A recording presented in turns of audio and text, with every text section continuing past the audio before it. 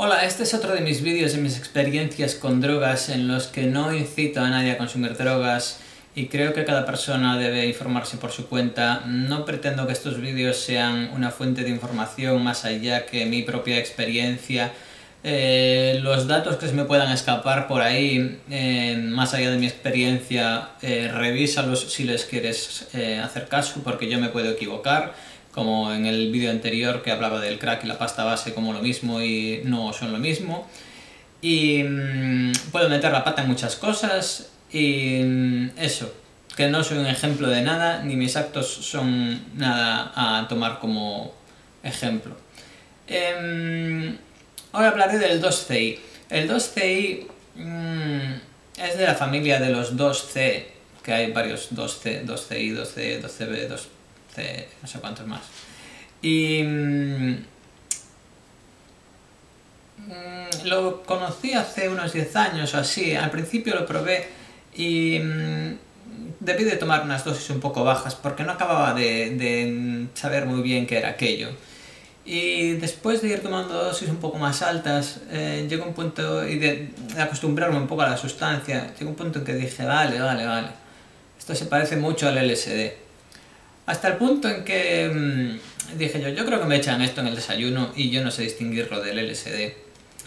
Y luego tomándolo más tiempo, porque sí que lo he tomado bastante, eh, pues he, he llegado a diferenciar algunos detallitos entre una cosa y el otro. Mm, pero realmente son detallitos, o sea, igual los, el aspecto visual es como más, mm, más sintético, como más plasticoso quizás que con el LSD. Y veo también a veces figuras figuras humanas o de animales así en rocas y tal, más que con el LSD. Mm, dura un poquitín más que el LSD eh, aquí hay una cuestión, el tema de las náuseas.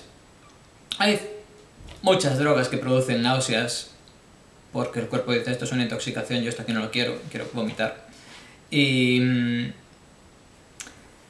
yo creo que algo que no hace mucha gente, o hay, o hace, hay mucha gente que no lo hace, es mm, tomar mm, la sustancia con algo que no sea agua, evidentemente no alcohol. Tomar alcohol con otras drogas suele potenciar mucho la toxicidad de las otras drogas, además de que el alcohol puede producir mezclas bastante problemáticas en muchos casos con otras, con otras drogas. Eh, el 2CI, por ejemplo, si lo bebes con agua, muchas otras drogas que pueden producir esto, si las bebes con agua, y no tienes nada más que agua en el estómago, mmm, aumenta la acidez porque no tienes nada en el estómago y te entran muchas náuseas. Si tomas algo tipo zumo, mosto, mmm, leche de avena, leche de arroz, digo leche de avena arroz y por ejemplo no digo de soja porque la de soja es más densa, tiene mucha más proteína y tiene más cosa que digerir, pero la leche de arroz y la, la de avena en realidad como, como alimentos son una tomadura de pelo porque tiene muy pocos nutrientes porque es casi todo agua. Pero um, si tienes problemas de estómago y así, para muchas situaciones te ayudan mucho a estabilizar el estómago y tal. Pues yo cuando tomo 2TI, LSD y esas cosas durante el día voy tomando leche de arroz o de avena porque tiene un poquito, un poquito de, azúcar pero de por sí pero no son como los zumos que tienen un montón de azúcar y al final del día acaban doliendo los dientes. Mm. Entonces yo desde que tomo el 2 u otras drogas, con esto en el estómago no me genera ningún tipo, pero ningún tipo de malestar, ni náusea, ni nada parecido. Y sin embargo, hace no mucho fui con una amiga y tomó de eso y yo le dije, tómatelo con esto y la otra que no, que me lo tomo con agua. Pues ahí estuvo después vomitando y con el estómago fatal y no sé qué. Y yo que tengo problemas de estómago y sin embargo, cero, de esta manera. Mm. Mm. A veces, pues tengo momentos de introspección así parecidos a los del LSD, es que realmente es bastante parecido al LSD para mí. Mm, no describo aquí todo porque tengo un vídeo sobre el LSD y no voy a repetir todo aquí.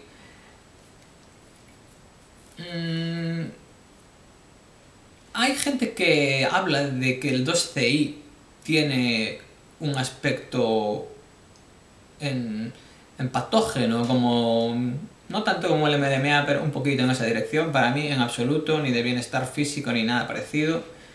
Mm,